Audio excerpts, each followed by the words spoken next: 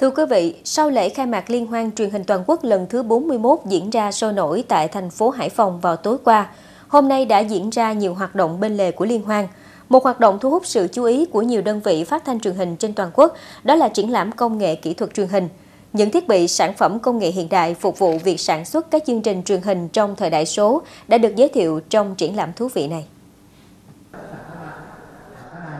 Triển lãm công nghệ kỹ thuật truyền hình gồm có gian hàng của Đài truyền hình Việt Nam và 5 gian hàng giới thiệu các sản phẩm của các đơn vị.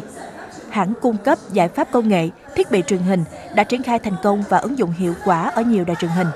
Bên cạnh đó, triển lãm còn giới thiệu những giải pháp phần mềm ứng dụng trong quản lý sản xuất và phân phối đa nền tảng theo mô hình tòa soạn, hội tụ phục vụ chuyển đổi số cho các đài phát thanh truyền hình.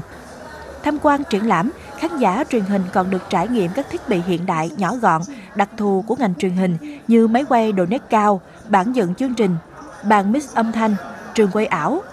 Đồng thời khán giả cũng sẽ có cơ hội tìm hiểu và cập nhật các giải pháp truyền hình mới nhất, cho phép sản xuất từ xa và xuất bản trên đa nền tảng với chi phí thấp.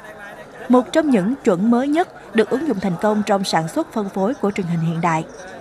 Có thể nói triển lãm công nghệ kỹ thuật truyền hình là cơ hội thú vị để những người làm trong lĩnh vực truyền hình và doanh nghiệp gặp gỡ, trao đổi kinh nghiệm, đồng thời mở ra cơ hội hợp tác đầu tư để cung cấp nhiều kênh thông tin tiện ích và dịch vụ đa dạng đến công chúng.